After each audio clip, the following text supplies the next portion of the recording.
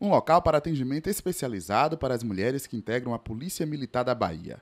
É esse o foco do Centro Maria Filipa. A Major Cláudia é uma das fundadoras. A policial militar ela ingressa na corporação em 1990. Então, em 2006, ou seja, 16 anos depois, surge essa necessidade, porque a gente observa que o quantitativo feminino começa a aumentar, começou a aumentar.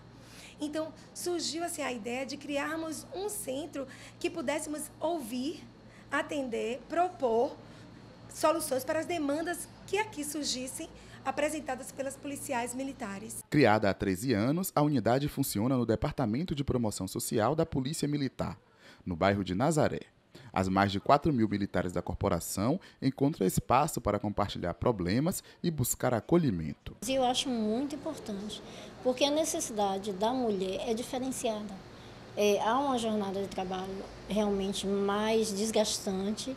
É, tem a jornada de trabalho em si, e além de ter essa jornada, ainda tem a segunda jornada quando ela chega né, em casa. Dentre esses serviços, nós temos o apoio psicossocial, né, para que as mulheres possam vir aqui ao nosso departamento e compartilhar as suas experiências e, e os seus problemas que estão vivendo no ambiente de trabalho.